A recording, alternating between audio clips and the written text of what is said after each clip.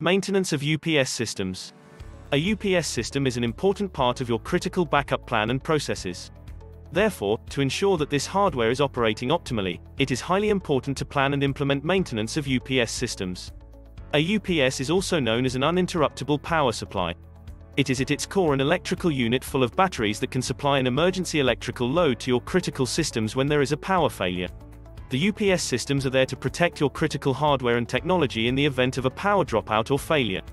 Without the correct maintenance of UPS equipment, your system might fail when you most need it.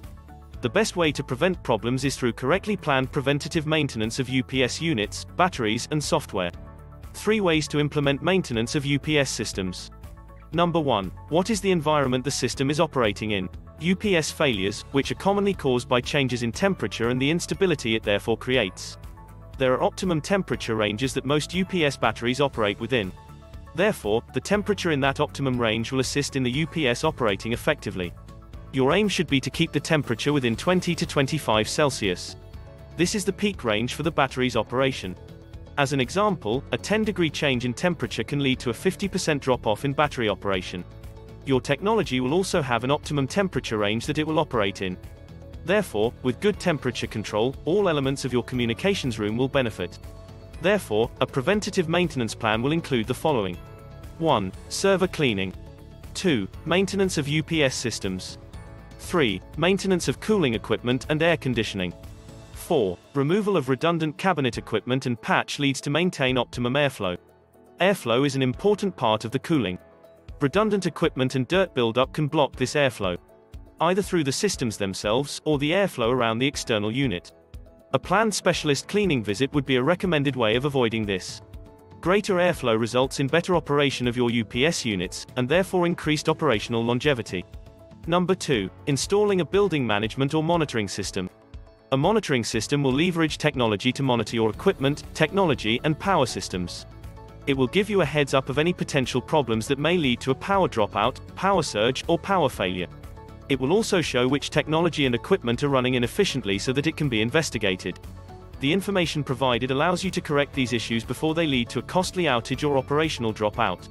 These monitoring programs can be standalone or part of a larger overall building management system, also known as BMS systems.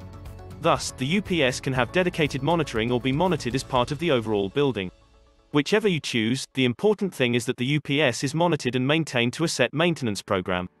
3. Planning preventative maintenance. The ongoing maintenance of UPS systems is a very important part of your critical protection design and plans. The parts within a UPS unit will require maintenance and replacement over the lifespan of its operations. Furthermore, the more the system has been employed, the more those replacements will be required.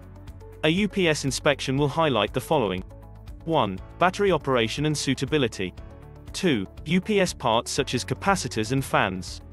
3. Correct software programming. 4. Cleanliness of the unit. 5. Changes in client equipment and effect on the unit.